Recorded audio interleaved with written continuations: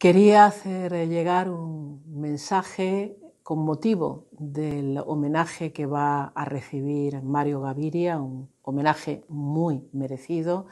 desde el reconocimiento por mi parte de cuánto, cuánto ha influido Mario Gaviria en mi propia visión de muchos temas, de la ecología, de la energía, de la economía, del urbanismo. Mario era una persona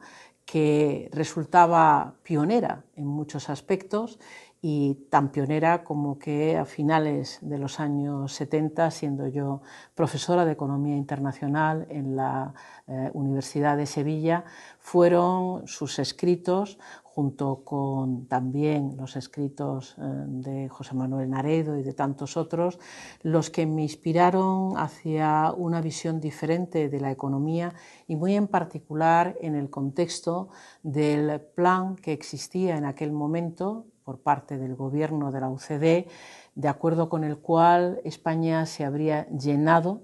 de centrales de energía nuclear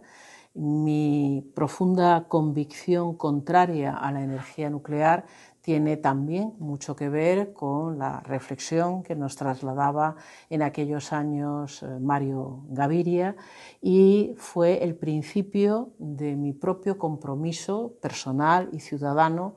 eh, en relación con eh, la importancia de la ecología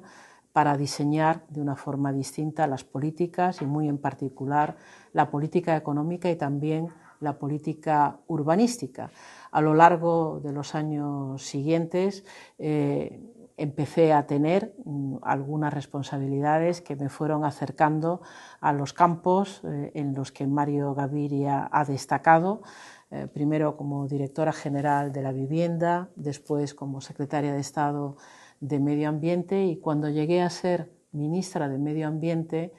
tuve la ocasión de reconocer públicamente cuánto le debía a Mario, eh, que consiguió un Premio Nacional de Medio Ambiente, lo que entonces hacíamos desde aquel ministerio, el año 2005.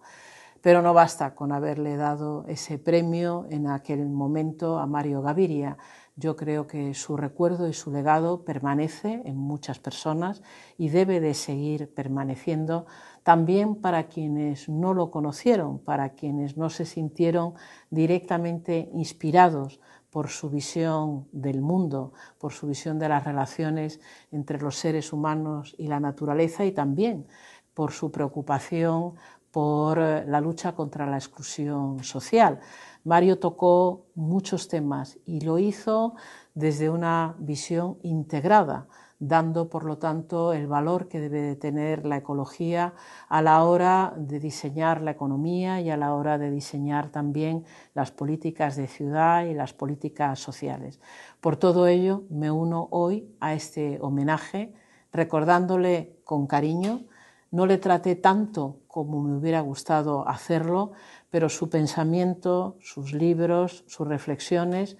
insisto, fueron para mí una fuente de inspiración que hoy quiero agradecer públicamente.